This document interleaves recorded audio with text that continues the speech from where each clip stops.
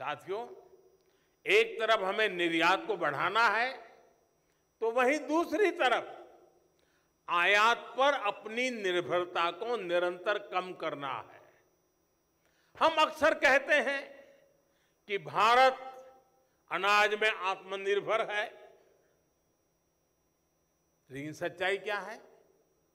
केवल गेहूँ, धान और चीनी में आत्मनिर्भरता काफ़ी नहीं है।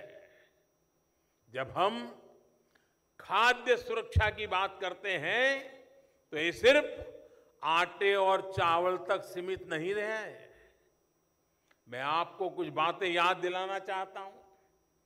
खाने के तेल का आयात हो, दाल का आयात हो, मछली के चारे का आयात हो फ़ूड सेक्टर में प्रोसेस और अन्य अन्य उत्पादों का आयात हो, इस पर हम हर वर्ष आप चौंक जाएँगे।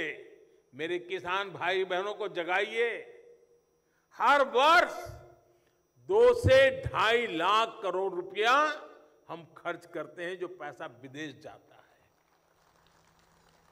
यानी ये पैसा विदेश भेजना पड़ता है। ये भारत जैसे अन्न प्रधान देश के लिए क्या सही बात है क्या? इतने बड़े होनहार सहकारी क्षेत्र का नेतृत्व मेरे सामने बैठा है तो मैं स्वाभाविक रूप से आपसे अपेक्षा करता हूँ कि हमें क्रांति की दिशा में जाना पड़ेगा। क्या ये पैसा भारत के किसानों के जेब में जाना चाहिए कि नहीं जाना चाहिए? क्यों विदेश जाना चाहिए? साथियों हम ये समझ सकते हैं कि हमारे पास तेल के बड़े कुएँ नहीं है। हमें पेट्रोल, डीजल बाहर से मंगाना पड़ता है। वो हमारी मजबूरी है। लेकिन खाने के तेल में उसमें तो आत्मनिर्भरता संभव है।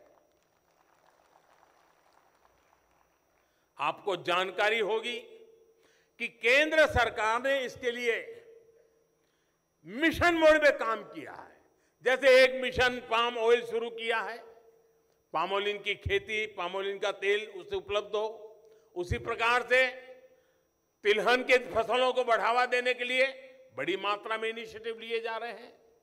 देश की कोऑपरेटिव संस्थाएँ इस मिशन की बागडोर थाम लेगी तो देखिएगा कितनी जल्दी हम खाद्य तेल के मामले में आत्मनिर्भर हो जाएँगे।